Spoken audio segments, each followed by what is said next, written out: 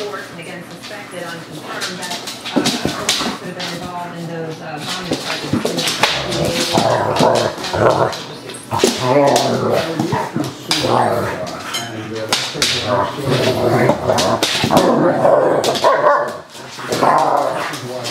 Iran has done. We have to assume that, uh, and uh, again, we hope not, we assume they do, and that's why I can tell you there is a tremendous amount of uh, counter-terror activity by the millions of U.S. intelligence uh,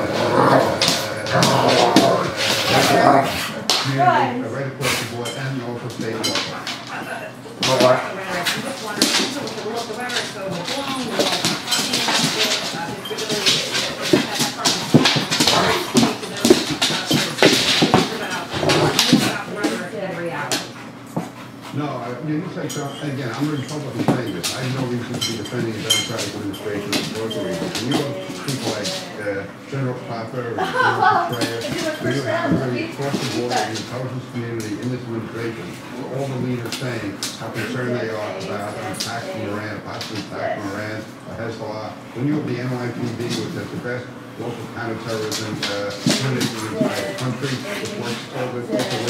24-7, and to see what Iran is doing overseas, we would be negligent in not talking about it because it's important local governments, local especially if anyone in their community sees any activity or sees anything unusual. Call the police, call the FBI.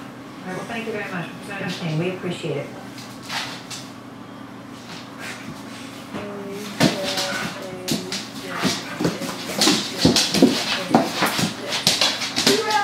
You.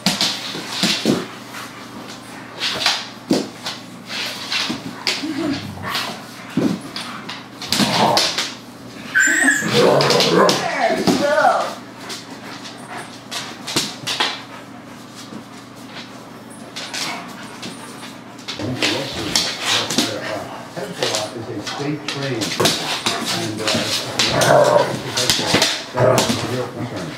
And um, if the United States were to, uh, when you have these conversations with security officials, if, if the United States were to intervene or arm the opposition in Syria, Syria being a place where Iran, uh,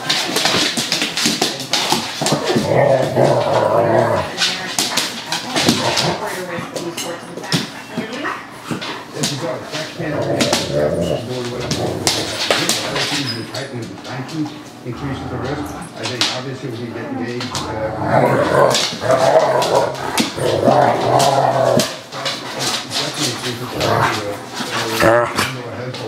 would strike within the United States.